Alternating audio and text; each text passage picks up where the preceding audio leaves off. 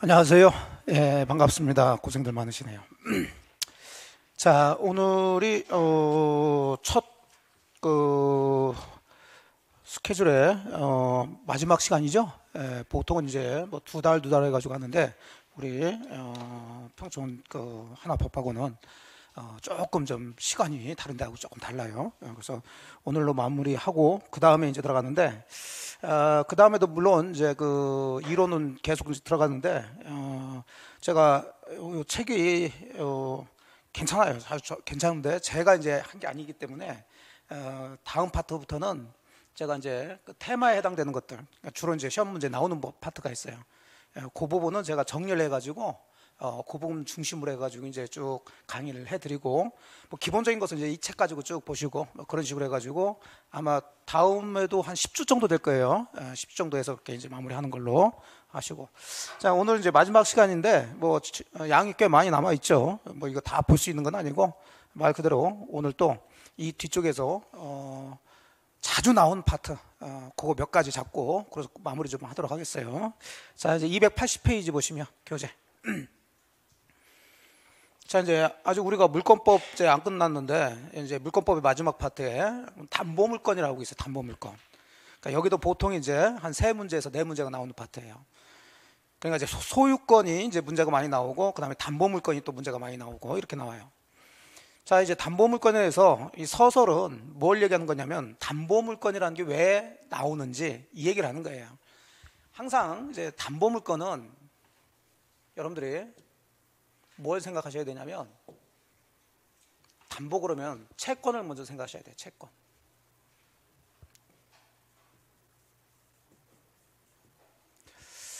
그러니까 여러분이 저한테 1억을 빌려줬어요. 그럼 여러분들은 저한테 1억 달라는 권리가 있고 그런 권리를 뭐라 하냐면 채권이라고 채권. 근데 이 1억 받을 수 있는 여러분의 채권은 굉장히 약해요. 제가 줘야지만이 받는 거지. 제가 빌려가 놓고서는 갚을 때가 됐다고요. 근데 제가 돈이 없어. 배째. 그럼 여러분들은 짤 수도 없고 어, 받아낼 길이 없어요. 결국 그러면 저의 일반 재산을 찾아야 돼요. 음, 제뭐 뭐 예금이라든지 아니면 무슨 돈 될 만한 거 부동산 있는지 뭐한지. 그럼 채무자들은 돈을 갚을 때가 됐는데 일부러라도 안 갚. 갚기 위해서 뭐 안 갚는다 그러면 물론 뭐 돈이 있으면 갚을 사람도 많겠지만 자 안 갚는다 그러면은 자기 재산을 그대로 가지고 있는 상태에서 나 돈 안 갚는다 이렇게 하진 않겠죠. 미리 전부 다 다 뭐 할까요? 다 빼, 그러죠. 뒤로 다 빼낸다고. 뭐 명의를 다른 사람한테 넘기든지 다 해놓는다고요. 그리고 나 돈이 한 푼 없으니까 나 못 갚겠다. 이러면 여러분들은 1억 받을 수 있는 요 채권을 받아낼 길이 없는 거예요. 그다음 두 번째 또이 채권이 여러분이 저한테 1억을 빌려줬어요, 먼저. 근데 아직 여러분한테 갚을 때가 안 됐는데 제가 또 돈이 필요해. 그래서 요 원장한테 또 1억을 또 빌렸어요. 그럼 그 여기 진 원장도 저에 대해서 1억 달러는 채권이 이제 생겼죠. 그러면 저에 대한 채권은 여러분의 1억 채권과 요 원장의 1억 채권 두 가지가 있는데 여러분의 채권이 먼저 생겼죠. 그렇다고 해서 여러분의 채권이 우선적으로 먼저 받을 수 있는 권리 있는 것은 아니에요. 제가 이 원장한테 늦게 빌렸지만은 제가 돈이 딱 1억밖에 없어. 그래서 그 1억을 이 원장한테 먼저 갚아버렸어요. 그거 잘못된 게 아니란 말이에요. 채권이라는 것은 그래서 우선 변제적이라는 효력이라는 게 없어요. 우선 받아낼 수 있는 효력이 없어요. 이렇게 채권이 아주 약하기 때문에 자, 이 채권을 가진 사람은 불안해 죽겠다는 얘기지. 그래서 나중에 이 채권을 확실하게 받아내기 위해서 말 그대로 뭘 잡아놓는다? 담보를 잡아놓는 거죠. 그럼 담보는 두 가지가 있을 수 있어요. 사람이 될 수 있어요, 없어요? 될 수 있어요. 인적 담보라고 그러는데 보통 여러분들 보증 쓴다 얘기 들어보셨나요? 보증. 보증이 연대 보증. 예. 그거 다 담보예요. 어, 채무자가 돈 못 갚을 때 당신이 갚으셔. 예, 그것도 하나의 담보예요. 근데 이것은 이제 사람이 담보 쓰는 걸로 해서 이걸 인적 담보라고 그러죠. 그러니까 그건 물건이 되지 못하죠. 항상 물건은 사람에 대한 거, 물건에 대한 거, 물건에 대한 거니까. 그러니까 우리 민법 전반적으로는 이 인적 담보도 배우시게 돼요. 근데 우리 중개사 시험에서는 안 나온단 말이에요. 보증이라든지 연대보증 같은 것들은 안 나와요. 우리 시험에는. 예, 그렇게 이제 그게 사람이 되는 거고. 자, 사람이 아니라 물건을 담보로 잡을 수가 있겠죠. 예, 물건에 대한 거니까 당연히 그 물건에 대한 권리가 나오고 이거 담보 물건이라고 그러는 거예요. 음. 그래서 이제 우리가 배우는 물권법에 담보 물건을 이제 우리가 배우시게 되고 요 담보 물건에는 뭐 세 가지가 있죠. 뭐 유치권이라는 게 있고 질권, 그다음에 저당권. 자, 그 중에 질권은 우리 중개사 시험에서 안 나오고 두 가지 유치권하고 저당권. 여기서 세 문제에서 네 문제가 나온단 말이에요. 그러면 유치권하고 저당권을 이제 배우셔야 되는데 그러면 담보물건이 왜 나왔는지 지금 간단히 설명드려서 한마디로 뭐를 확보하기 위해서 채권 확보하기 위해서요. 그럼 모든 담보물 건에 공통 공통적인 성질이 있어요. 성질. 요거부터 먼저 잡고 들어가셔야 돼요. 어떤 담보물건이든 공통적으로 가지고 있는 성질이 있다. 자, 그 공통적 성질은 전부 다, 다 뭐와 관련된 거냐면 채권과 관련된 거예요. 채권.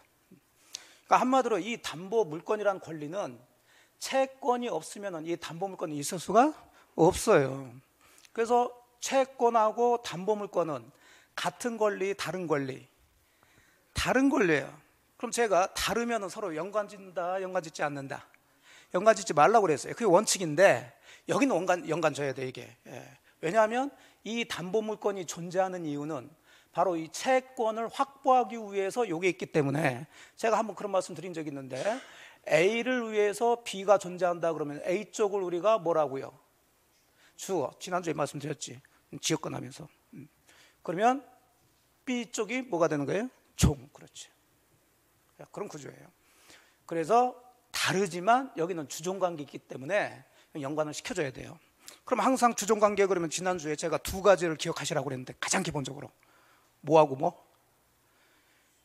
이 얼굴도 지금 기억 안 나는데 지금 우리가 그렇죠 부정성하고 수반성이라니까 그게 원칙이에요 원칙 그런 원리 부정성은 종은 주인과 운명을 같이 한다 그래 그러니까 채권이 없는데 담보 물건만 있을 수가 없어요 돈 받을 것도 없는데 저당권만 있다 있을 수가 없다고요 받을 돈이 있으니까 그걸 담보하기 위해서 저당권이 있는 거예요 그럼 당연히 채권이 없어지면 담보 물건도 자동으로 같이 없어지는 거예요. 그리고 그런 질문이 나오는 거죠. 채권이 소멸하면 저당권도 당연히 소멸한다. 이렇게 들어가야죠. 유치권도 마찬가지. 그런 걸 우리가 부중성이라고 그러죠. 그 다음에 수반성이라고 그래서 수반은 쫓아다닌다는 얘기죠. 채권을 다른 사람한테 넘긴 다. 그럼 채권이 넘어가면 주인이 갔으니까 뭐 또? 종도 넘어가야죠. 이걸 수반성이라고 그래요. 자, 이해되셨죠? 네. 그 얘기가 281페이지에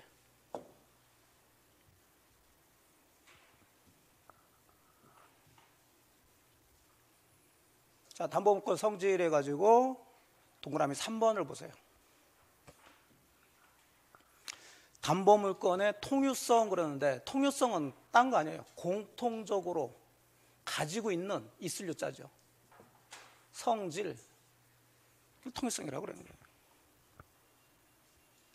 자, 그러면 항상 담보물건은 성질 얘기하면 뭐하고 같이 연관시켜 보신다? 채권.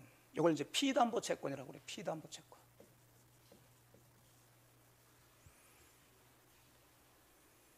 이런 것은 아예 그냥 머릿속에 딱 담아 놓으시라고. 저당권을 배우든 유치권을 배우든 항상 저당권 유치권은 뭐와 연관돼 있다? 채권하고 연관돼 있다고요. 그래서 채권이 주인이고 요 담보물건들이 종이니까 종들은 주인과 운명을 같이 한다. 이걸 우리가 뭐라 한다고요? 부종성. 그래서 담보물건, 즉 종이, 피담보 채권, 주인에 의존하는 성질.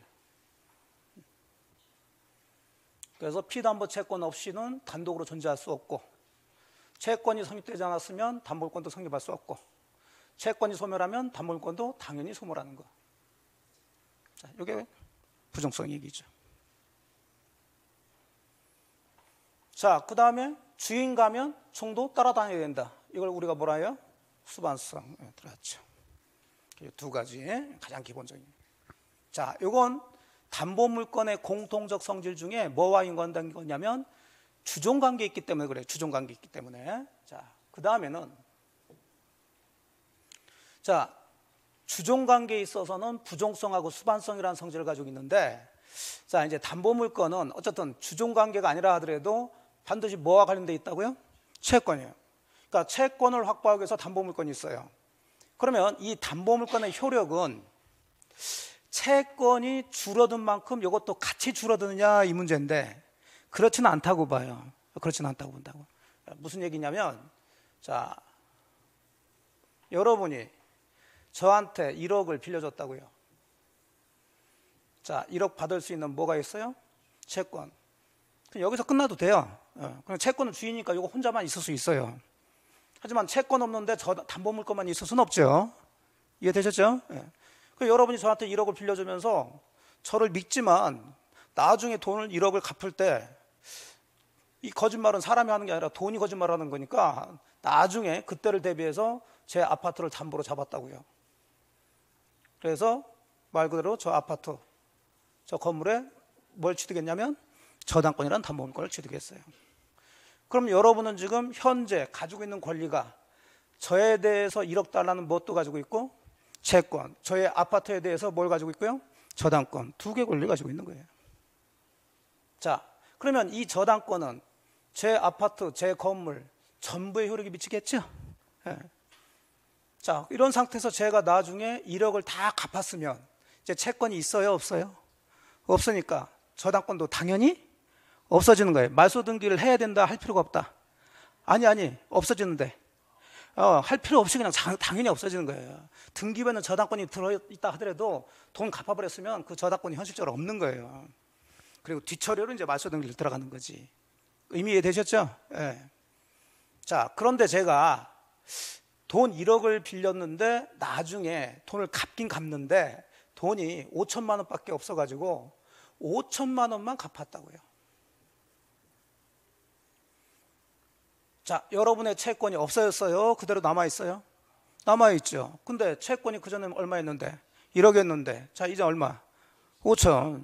그러면 여러분의 저당권은 지금 1억을 담보하기 위해서 제 건물 전부에 효력이 미쳤죠? 근데 이 채권이 반으로 줄어들었잖아요. 그럼 여러분의 저당권도 제 건물 중에 반만 저당권 효력이 미칠까요? 아니란 말이에요, 이것은. 예. 반으로 줄어들었던 뭐 천만 원만 남았던 뭐 했던 채권이 조금이라도 남아 있으면 이 담보물권의 효력은 여전히 부동산 전부에 미치게 돼 있어요. 음, 그리고 재료가 됐을 때 깔끔하게 없어지는 거죠. 그러니까 이해되셨죠? 예, 이런 걸 뭐라고 그러냐 그 얘기죠. 이런 걸 그러니까 말로 이제 표현한 게 문제가 돼요. 자, 채권은 1억에서 5천만 원으로 나눌 수 있어요, 없어요? 채권은 나눠졌죠. 예. 하지만 저당권은 거기에 맞춰 가지고 그 미치는 효력이 나눠지지는 않지. 나눠지는 것을 우리가 가, 분이라고 그러죠? 그러니까 나눠질 수 있어요? 나눠질 수 없어요? 나눌 수 없으니까 앞쪽에다 뭐라고 그래? 불가분. 그래요. 이걸 불가분성이라고 그러는 거예요. 그래서 밑에가 이제 그 얘기죠. 지금. 불가분성. 계속 제가 말씀드리지만 단어로 공부하시면 안 돼. 단어로. 그러니까 담보물권 가진 자는 피담보 채권 전부 변제 받을 때까지 목적물 전부에 효력, 효력이 미치는 것, 담보권을 행사할 수 있는 거. 이것을 불가분성이란다. 그래서 어떤 담보물건이든 이 세 가지는 다 똑같이 인정을 해줘요. 그러면 요 얘기는 여기서만 끝나는 게 아니라 유치권 들어갈 때도 당연히 유치권도 뭐, 뭐, 뭐가 있어요? 부정성, 수반성, 불가분성. 저당권도 부정성, 수반성, 불가분성. 그대로 가가지고 민사특별법에 가등기 담보 등에 관한 법률을 배우시게 돼. 자, 가등기를 가지고 담보를 이용하는 거예요. 그럼 어쨌든 간에 거기도 가등기 담보권이라는 게 있겠죠? 그럼 당연히 거기도 뭐, 뭐, 뭐가 있다? 부정성, 수반성, 불가분성. 그러니까 모든 담보에 대한 것은 다 똑같다고 얘기해. 그래서 이세 가지 기억을 하시고. 리을번은 지금 보지 마세요. 여기 담보물권의 통유성은 공통적 성질인데 아까도 좀 전에 말씀드린 대로 이 세 가지는 모든 담보물권의 공통적으로 다 가지고 있지만 물상대위성이라는 것은 그렇지가 않아요. 특히 우리가 배우는 유치권하고 저당권 중에 저당권만 인정되지 유치권 인정되지 않아요. 그러니까 공통적 성질이라고 보기는 조금 어려워요 이게. 예, 그래서 이것은 저당권 볼 때 들어가시면 돼요 이것은. 음. 자, 그래서 담보물권의 공통적 성질 잡으셨고, 자, 그다음 이제 유치권 보셔야 되겠지.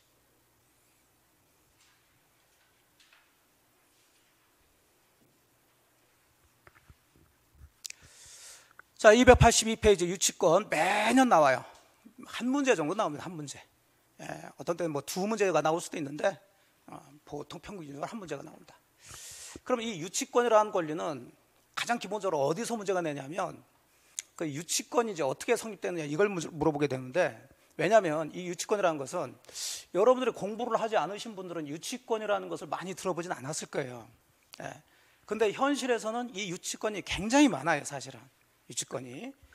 뭐 여기도 뭐 예를 들어서 하는데 뭐 시계 수리 뭐 이런 것도 하는데 그냥 여러분들이 그냥 일상적으로 보자고요. 여러분이 자동차를 가지고 계시다. 자, 근데 자동차 고장 나서 카센터에 맡겨. 근데 카센터 사장님이 보더니 아 이거는 공장 입고 들어와야 될 것 같다고 아, 한, 한 3, 4일 있다가 오시라고 그래. 그래서 여러분이 맡기고 왔죠. 그리고 오라는 3, 4일 후에 왔더니 갔더니 여러분 자동차가 이 카센터 그 앞마당에 이렇게 다 고쳐져 가지고 세차까지 다 있더라고요. 음, 여전히 어쨌든 카센터 마당에 있지만은 이 자동차는 여러분 거죠. 자, 그러면 여러분은 요 자동차 여러분 거라고 해서 함부로 가져갈 수 있어요, 없어요? 없어요, 이제. 요 카센터에서는 여러분의 자동차를 뭘 했기 때문에 수리를 했기 때문에 수리비 달라는 뭐가 발생한 거예요? 채권 발생한 거죠. 이거 한 150만 원 정도 나왔다고. 아, 그럼 당연히 이 150만 원을 주어야 여기서도 여러분의 자동차를 돌려주죠. 여러분이 150만 원 수리비를 주지도 않았는데 가져가려고 그러면 카센터 사장 직원들 우르르 나와가지고 왜 가져가려고 그러냐고 가져가지 말라고 맞겠죠? 자 이게 뭐라고요? 이게 유치권이에요 이게 유치권 음, 유치 잡아놓는단 말이에요 예. 이거 줄 때까지 나 못 돌려줘 유치권 여러분이 만일에 건물 임대차를 들어갔는데 여러분이 임차인이냐 눈 오고 비 오는데 여기가 쫄쫄쫄 새고 뭐 윗집에서지 뭔지 이렇게 막 벽에 누수가 생기고 그래. 고쳐야 되겠죠? 그 누가 고쳐야 돼요? 임대인이 고쳐야지. 그 임대인, 집주인이 안 고쳐주니까 여러분이 살아야 되니까 여러분이 고쳤다고요. 한 돈천 들었어. 막 누수, 막그물 나오는데 찾고 해가지고. 자, 그러면 여러분은 요 건물을 고친 비용 얼마가 나와요? 천만 원. 이걸 우리가 필요비라고 그런다고요. 그럼 이걸 임대인한테 달라고 청구할 수 있는 거죠. 자, 그런데 임대인이 오늘 내일 미루면서 하다가 임대차 기간이 다 끝났어요. 다 끝났는데 자, 임대인이 여러분한테 보증금 예를 들어서 1억만 주고 다 끝났으니까 나가시오 그러더라는 거지. 여러분 나갈 거예요? 안 나갈 거예요? 네?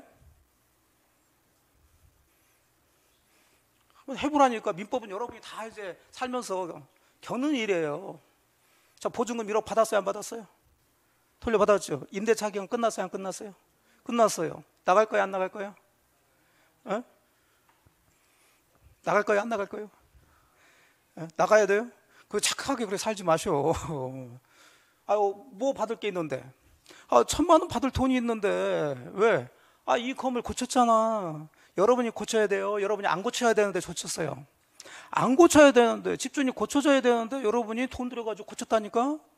그래서 임대인한테 천만 원 달라고 그러는데 차일피를 미루더니 끝내 임대차 끝날 때까지 이거 안 주고 보증금은 1억만 돌려주면서 나가라고 그러더라고. 그 나가시면 안 돼. 어? 그러면 천만 원 어떻게 받아? 이 천만 원은 말 그대로 일반 뭐가 되는 거야? 채권. 나가면 이제 여러분 이 천만 원 받기 힘들어진다니까. 어? 항상 채권은 받기 힘들어진다니까요. 줄 사람이 나 몰라 그래 버리면 받을 수가 없다니까.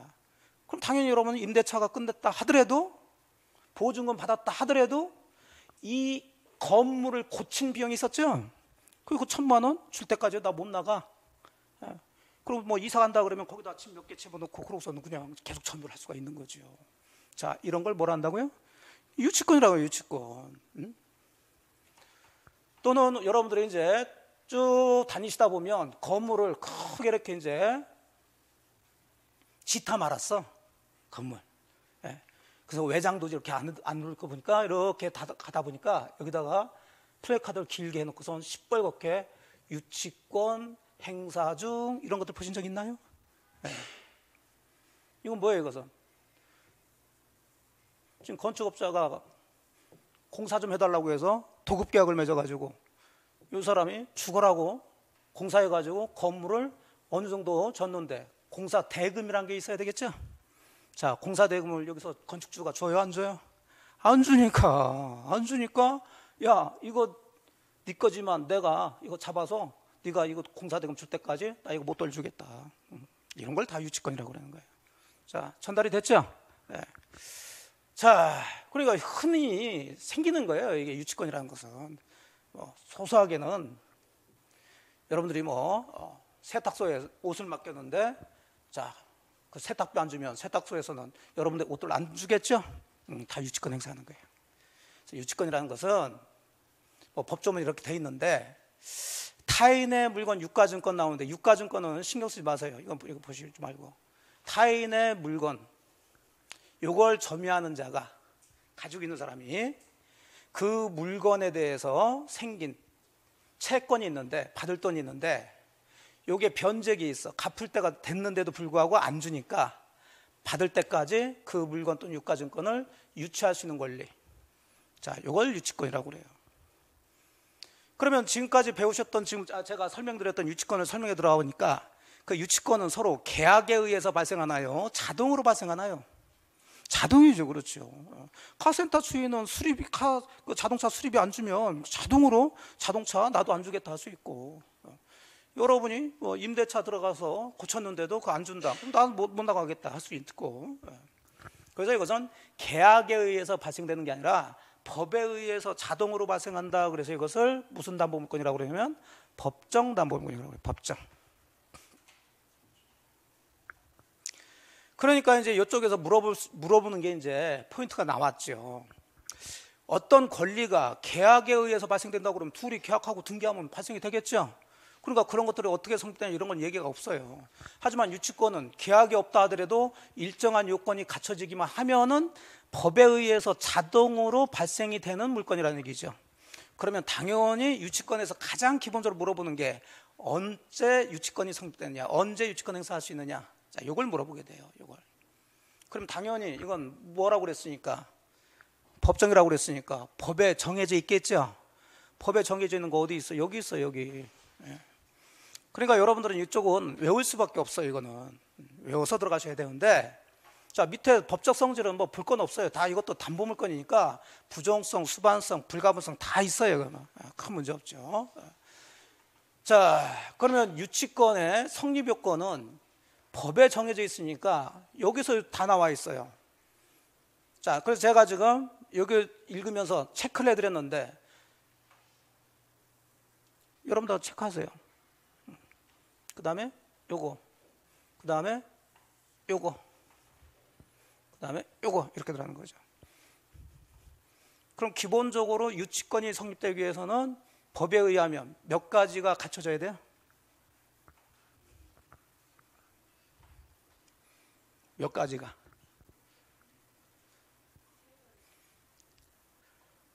지금 어디 어디 체크해 드렸나요? 음, 하나, 둘, 셋, 넷. 잘좀 세보세요. 어. 그러니까 유치권이 성되려면 몇 가지가 기본적으로 갖춰져야 된다?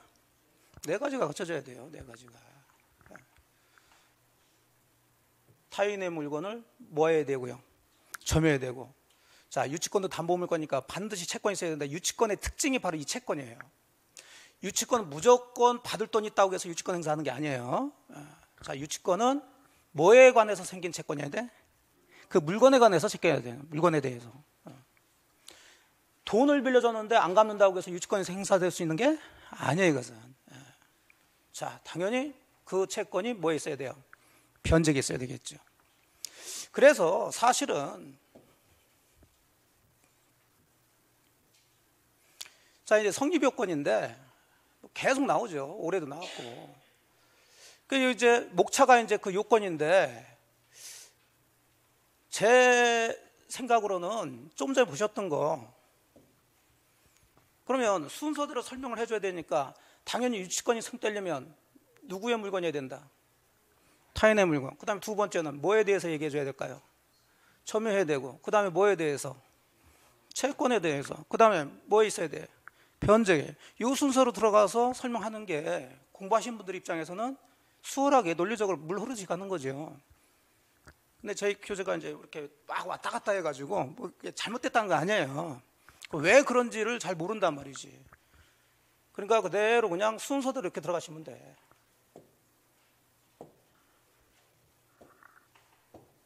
자, 그럼 다시 그럼 다, 최소한 여러분들이 그 내용들은 머릿속에 기억해 줘야 되니까 첫 번째 유치권이 성립되려면 그 유치권의 목적물은 항상 물건은 물건에 대한 거니까 유치권자 자기 물건이어야 돼요. 타인의 물건이어야 돼요. 그 타인의 물건이어야 돼요.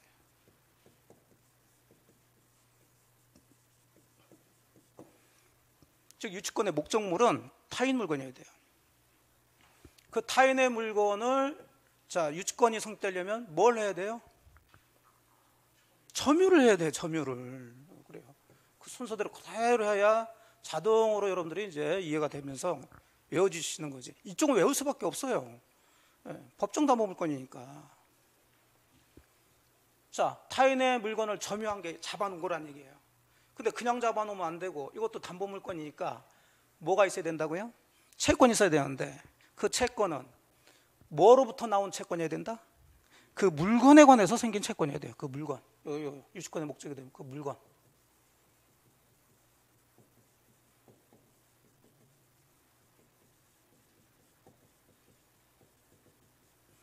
요걸 결련 관계가 있다라고 표현도 합니다.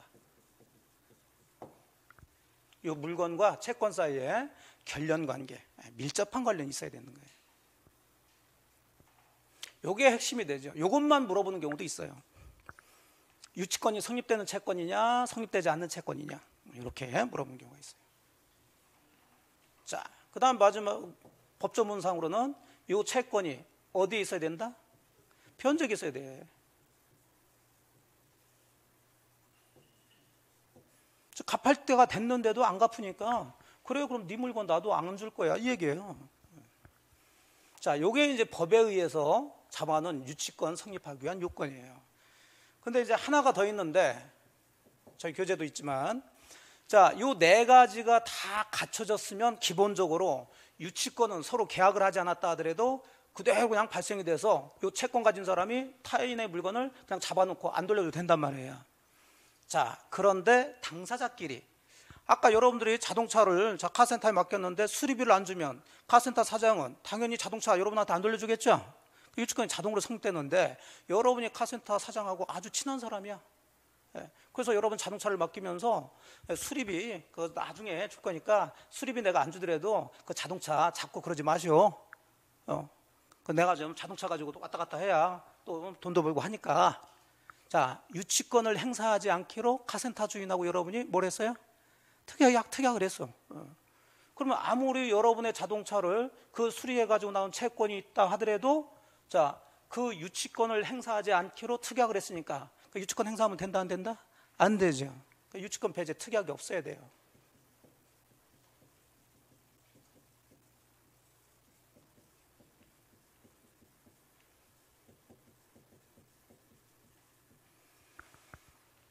자, 이렇게 이제 다섯 가지가 갖춰졌을 때 유치권이라는 것은 자동으로 성립이 되는 거예요, 자동으로.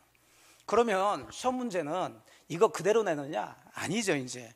여기서 이제 항상 문제가 되는 것들을 가지고 따져요. 물론 올해는 여기서 정답이 됐어요. 유치권 배제 특약은 그러면 할 수 있어요, 없어요? 할 수 있어요, 없어요? 유치권 배제 특약 할 수 있다, 없다? 할 수 있죠. 유치권 배제 특약 할 수 있잖아. 그럼 유치권 행사할 수 없지. 예. 아이 정신 좀 차려보라니까. 유치권 배제 특약이 없어야 유치권이 성립되는 거니까 그 얘기는 뒤집으면 유치권 배제 특약을 하면 유치권 행사할 수 없다는 얘기죠? 그럼 당사자끼리 유치권 배제 특약 해도 된다 안 된다? 아 된다. 근데 안 된다 그럼 틀리다니까. 그래 그래. 올해 나왔던 틀린 거. 유치권 배제 특약은 무효다. 아니야 왜 무효야? 할 수 있다니까. 다만 유치권 배제 특약을 하면 유치권 행사할 수 없을 뿐이지 됐죠? 그래요. 천천히 할 테니까 천천히. 꼭 첫째 시간에 이렇게 덮고 해가지고 유치 이탈들을 하시고 하시는데 뭐 어쩔 수 없어요. 뭐. 유치했다 하신 분들은 쭉 한 시간 동안은 편히 주무셨다가 두 번째 시간부터라도 열심히 보셔 이게.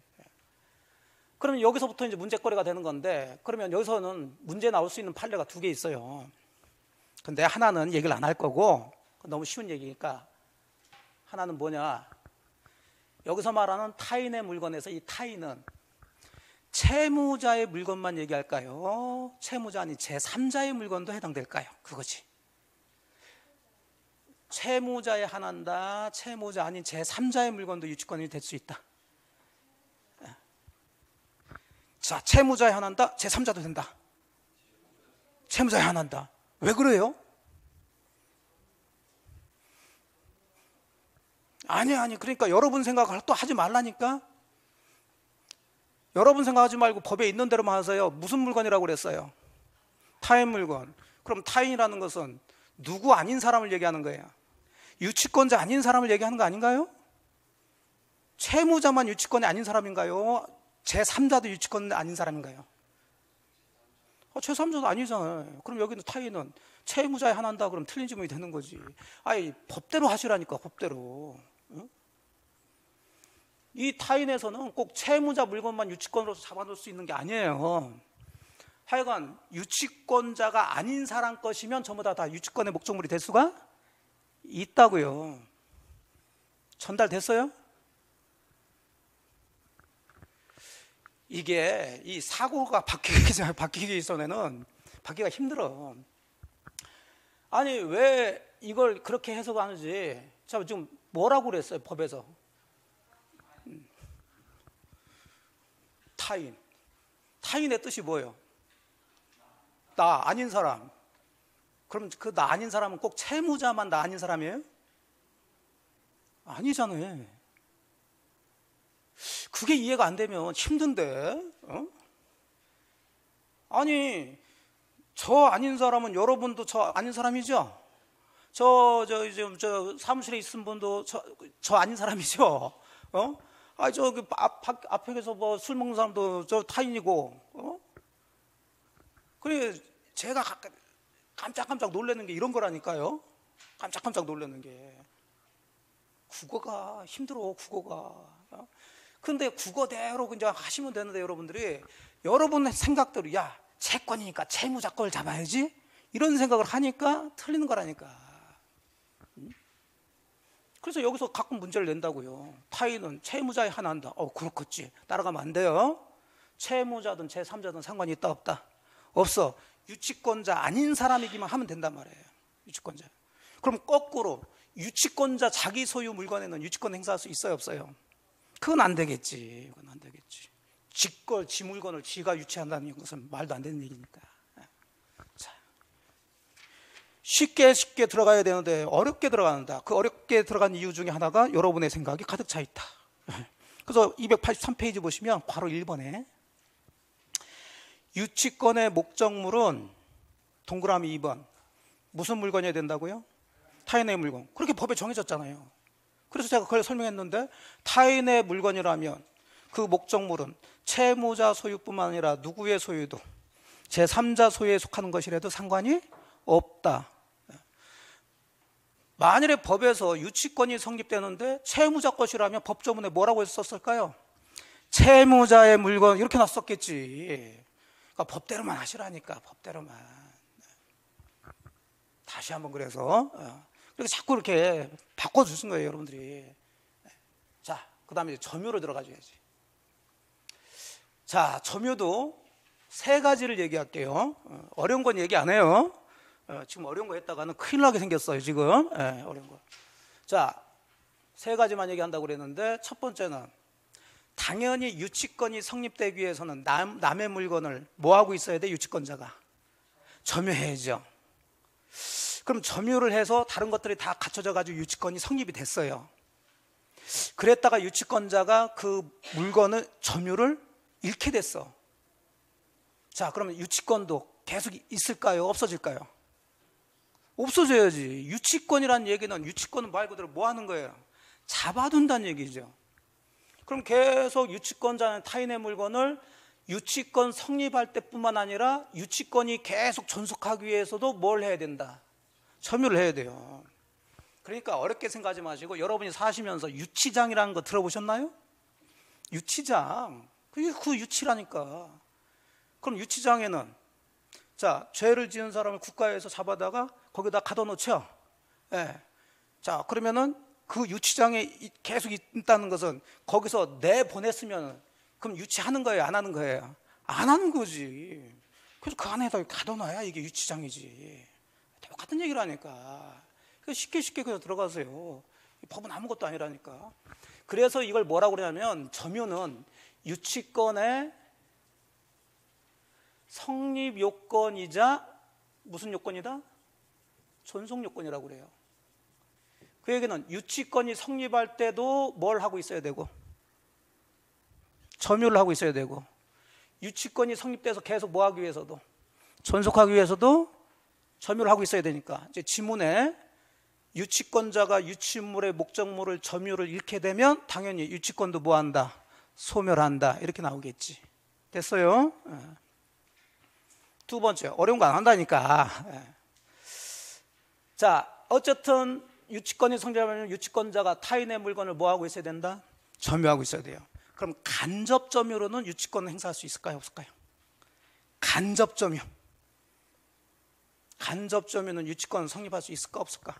그러면 여러분 생각대로 하지 마시고 간접 점유가 점유인지 아닌지만 생각하시라고 힌트 줬어.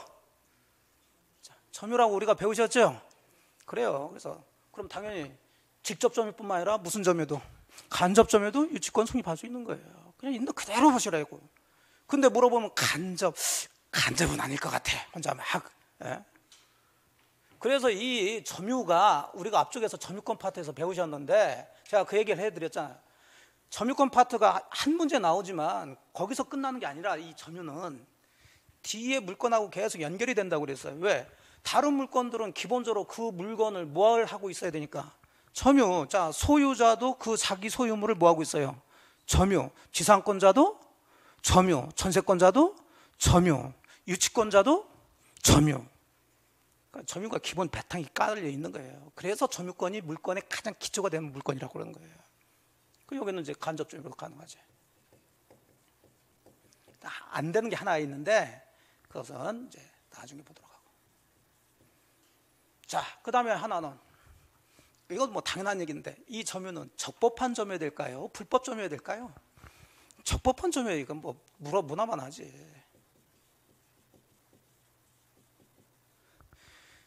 제가 여러분의 자동차를 훔쳐가지고 제가 여러분의 자동차를 점유하면서 그 자동차가 고장 났길래 고쳤네. 근데 여러분이 나중에 저 찾아와서 야 이 도둑놈아 그 자동차 내 거니까 내놔라. 그러니까 제가 어 네 거니까 돌려주긴 돌려주는데 그 자동차를 내가 고쳤으니까 수리비 내놔. 어, 수리비 줄 때까지는 나 못 돌려줘. 말이 돼 안 돼? 안 되지. 왜? 저는 여러분의 자동차를 다 갖춰졌지만 어떻게 점유를 하지 않은 거야? 적법한 점유가 아니지 불법 점유니까. 그래서 점유 파트에서는 이세 가지를 일단 기억을 하시면 돼. 그 점유가 이제 뒤쪽에 보시게 되면 284페이지 괄호 4번 맨 밑에 있어요. 자, 목적물에 적법한 점유가 있어야 된다. 유치권이 성되기 위해서는 자, 동그라미 기억번호로 직접 들어가세요.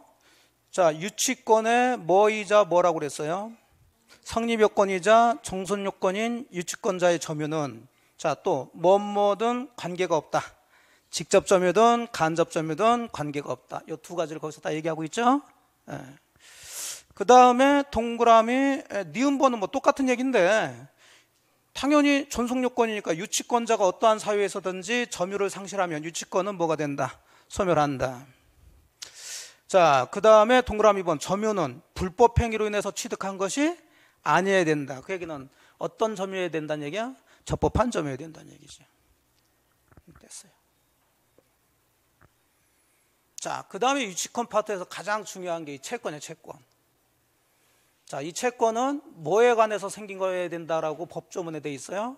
그 물건에 관해서 생긴 채권이 된다. 그러면 요 채권 유치권이 성립될 수 있는 채권이 있을 수 있고 아닐 수도 있는데 자 유치권이 성립되는 건 제가 예를 들어서 다 했어요. 아까 가장 대표적으로 여러분이 건물 임대차 들어왔는데 자 비가 새고 그 다음에 벽에서 물이 졸졸 흐르는데 안 고쳐져서 여러분이 고쳤네. 자 그러면 그 비용 달라고 청구할 수 있죠. 근데 임대인이 임대차가 끝났으면서도 비용을 주지 않아. 그럼 당연히 여러분은 그 건물에 관해서 비용이 들어갔으니까 그 비용 주기 전까지 나도 그 건물 못 돌려주겠다 할 수 있어요 없어요?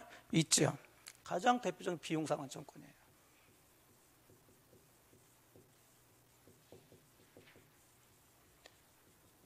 필요비, 유익비 같은 것들. 그 다음에 현실에서 가장 많은 것은 공사대금이에요, 공사대금. 공사대금.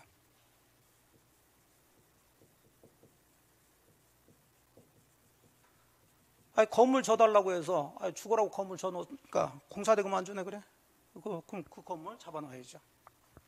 그 다음에 좀 전에 보셨던 것처럼 수리비 같은 것들. 자, 이런 것들을 가지고 이런 것들 안 주면 유치권 행사할 수 있어요. 근데 사실 유치권이 성립되는 것보다 안 되는 것을 좀 주의해서 보시는데 자, 임대차 계약을 해서 여러분들이 보증금 1억을 줬어요. 근데 여러분이 그 건물 고치고 그런 건 없어요. 예. 근데 임대차 기간이 다 끝났다고. 자, 끝났는데 그럼 임대인은 여러분한테 보증금 돌려줘야 돼, 안 돌려줘야 돼요?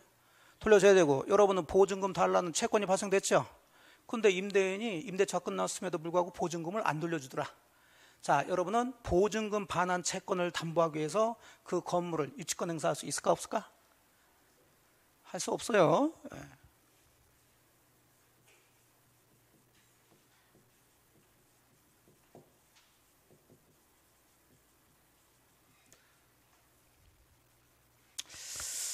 그 다음에 상가 건물 같은 경우는 권리금이라는 게 있죠. 권리금.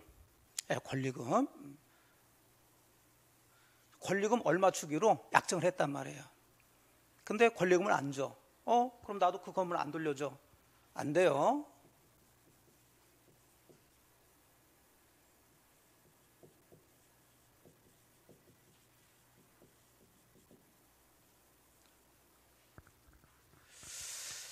자, 제가 여러분의 건물을 3억에 샀어. 그럼 여러분은 저한테 3억 달러는 채권이 발생됐죠? 아, 근데 여러분은 건물을 넘겨주는데 저는 3억 대금을 여러분한테 안 주고 있네. 자, 그러면 그 3억 대금을 담보하기 위해서 저의 또 다른 땅을 담, 유치권 행사해서 잡을 수 있을까 없을까? 없어요.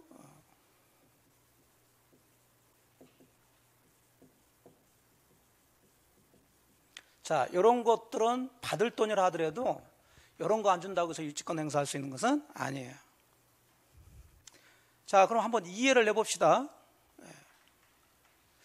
나중에는 이제 이해가 안 되면 외우시면 돼요. 예. 자, 지금 유치권이 성립되려면 뭐에 대해서 생겨야 된다고요? 그 물건에 대해서 생겨야 돼. 그러면 되는 것들을 딱 보니까 그 물건을 고쳤죠? 그 물건 공사했죠? 당연히 그 자동차 수리했죠. 그랬으니까 자동차를 그 건물을 그 건물을 안 돌려주고 잡을 수 있다는 거예요. 근데 보증금이나 권리금이나 매매대금은 공통점이 어디서 나오는 걸까요? 계약에서 나오지 이것은. 계약에서 나오는 거지 그 물건 자체로부터 나오는 게 아니죠 이것은. 보증금을 임대차 계약하면서 얼마 줬으니까 그거 돌려달라는 얘기예요. 이해되셨나요? 예. 네. 그래서 이것들은 받을 돈이라 하더라도 이거 안 준다고 해서 유치권 행사할 수 있는 것은 아니에요. 자, 유치권 파트에서는 가장 중요한 파트고 저희 교재는 자, 그 얘기가 283페이지를 보세요. 283페이지 괄호 2번을 보니까 결련관계 이렇게 나와 있고 동그라미 1번에서 채권과 목적물의 결련관계 찾았나요? 예, 그 중에 기억번을 보세요. 동그라미 기억번. 채권이 목적물 자체로부터 발생돼야 된다. 하면서 예를 들어 목적물에 지출한 자 체크하세요. 무슨 청권? 비용상환 청권. 그 다음에 또 목적물로 받은 손해배상 청권은 나중에 보셔도 되고 수급인이 공사한 사람이에요. 수급인은 목적물에 들인 무슨 채권? 공사대금 채권. 자, 이런 것들이 이제 유치권을 행사할 수 있는 채권이 되는 거예요. 자 넘어가시고 284페이지에 자, 위에 핵심 정리라고 나와 있습니다. 자, 그 핵심 정리에는 유치권이 성립되는 경우, 되지 않는 경우, 되지 않는 경우, 첫째 1번 무슨 보증금? 임차 보증금. 두, 두 번째 권리금. 세 번째 매매 대금 그래요. 아주 대표적인 것들이에요. 이런 것들 가지고서는 유치권 행사할 수가 없다. 자, 정리됐죠? 예. 그 다음부터는 크게 이제 볼 건 없어요. 자, 그러면 이런 채권이 있으면 이건 안 되고 이런 것들은 안 되고 이런 채권이 있으면 그 사람 누구 건지 모르겠지만 타인의 물건을 요거 받을 때까지 뭐할수 있다. 점유해서 안 돌려주는 게 유치권이에요. 다만 요 채권은 뭐에 돌아야 된다. 변제가 돌아야 되지 그것은 당연히. 변제에 있지도 않는데 요거 안 준다고 해서 유치권 행사할 수는 없어요. 그러니까 여기서 시험 문제 나오는 것은 딱 하나밖에 없는데 지금 여러분이 배울 건 아니에요. 예. 자, 그 다음에 마지막으로 법에는 이 네 가지를 정해놨지만 자, 우리 판례는 요 네 가지가 다 갖춰졌다 하더라도 당사자끼리 유치권 행사하지 않기로 뭘 했으면 특약을 했으면 유치권은 성립할 수가 없어. 그러니까 유치, 권이 성립되려면 이 배제 특약이 없어야 되는데 주로 시험 문제는 배제 특약을 했을 때에 대해서 물어봐요. 그래서 여기서도 자 올해도 이제 정답이 됐었고 뭐 몇 번 문제가 나왔는데 일단 그러면 유치권 배제 특약은 유효다 무효다 유효다 할 수 있다고. 음. 자두 번째는 그럼 유치권 배제 특약은 특약한 당사자만 주장할 수 있느냐 다른 사람도 주장할 수 있느냐 그 얘기인데 여기서는 다른 사람도 주장할 수 있다고 봐요.